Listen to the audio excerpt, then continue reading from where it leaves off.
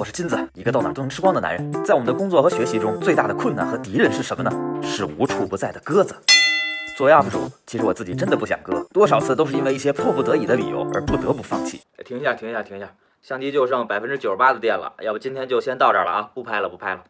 为了战胜这个困难，从此与鸽子划清界限，我今天特地来到了这样一家店，因为他们家的重点食材就是鸽子。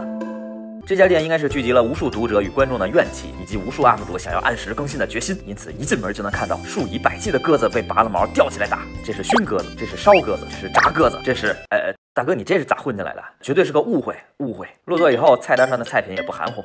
这里有无数种料理鸽子的方法，处决鸽子的程序还在继续中。比如第一道上来的菜品名字叫茴香鸽肝儿，一只鸽子有一个肝儿，好多只鸽子凑成了一大盘，感觉跟盐水鸭肝有点类似，不过味道没有鸭肝那么入味儿，体积也没有那么大。拿起来尝一口，嗯，有点干，并没有法式鹅肝那种细腻润滑的感觉。由于鹅肝是脂肪肝，属于大鹅吃多了以后撑出来，所以我们可以分析出，鸽子们在生前一定经历了很多磨练。活得一点也不轻松。鸽肝的配菜看着像个松针一样，这其实是茴香。好像茴香这种食材只有在北京地区比较常见，而且基本都出现在饺子馅儿里。这次跟鸽肝搭配，它那种淡淡的香气，配上鸽肝淡淡的咸鲜，结合的还不错，是一道品质上乘的下酒菜。当然，冲这个分量，谁要是能就着酒吃这么一大盘，必醉。第二道菜依然是一道凉菜，从外表上看，并不能看出这是什么部位，只知道上面点缀着红油，应该是道辣菜。后来问了服务生小哥，他说这道菜叫焦香燕唇。那么这道菜呢？等一下，咱们一直在说鸽子，怎么突然蹦出来个燕唇？这这这里面有大雁什么事儿啊？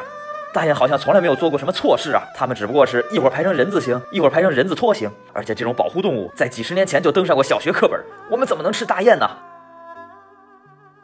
小哥悄悄告诉我，其实他们家的燕唇跟大雁关系不大，叫燕唇只是一种修辞手法，和凤爪有点类似，实际上是大鹅的上唇部分沿着眼睛、腮帮一直连到脸部的嫩皮。哦，原来如此啊，嗯。真香！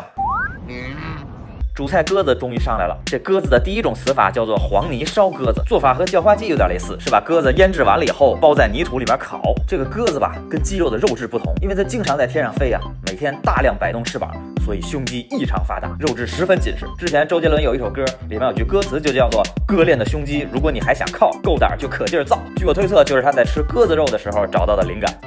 我们撕开黄泥烧鸽子身上最厚实的这块肉，可以看到肉丝的纤维非常明显，建议可以一条一条的吃，因为这肉丝实在是太入味了，一下吃一大口是真的咸。鸽子的第二种死法叫做脆皮鸽子，哎，大大哥你别瞪着我啊，放轻松，放轻松。这种鸽子跟烤鸭有点类似，外面也是一层枣红色，皮脆肉嫩，但是因为这个鸽子惨呢，养不到田鸭那么肥，就给拉过来烤了，所以它这个外皮料理完以后像纸片一样薄。肉质呢，比起刚才的黄泥烧鸽子来说要柔软得多，而且也没有那么重口味儿。就是这个肉太舍不得骨头了。一般来说，如果不用手术刀的话，很难切干净。像我能吃成这样已经很不错了。这家店的招牌主食外形也非常有特色，端上来的时候乍一看宛如一条正在晾晒中的微型棉被，所以这道菜的名字就被叫做晾衣大饼。相信我，一般这种形状特别唬人的菜品都会面临一个同样的问题：麻烦不好夹。是这个饼是外皮酥脆，里面软嫩，而且泛着一股特别浓郁的奶香。但是咱这筷子想要击穿它的防线，还是需要点功力的，不成还得上手撕。当我们咬了一口之后，会发现抛开普通的油香，这饼里更多的是一股奶油的香甜。它里面分了好多层，除了最外层酥到掉渣儿以外，其他层都相当的柔软。吃一口咽下去的时候很顺滑，五秒钟以后就又忘了，好像刚刚吃过似的，很神奇。几乎每一桌都点了这个大饼，足以见得它的受欢迎程度啊。吃了这么多干的，说来点稀的吧。点了一份鸽子汤，这是一种比较传统的鸽子料理，说是保留了很多鸽子独有的味道。端上来的时候呢，我们咬了咬，发现根本没有鸽子。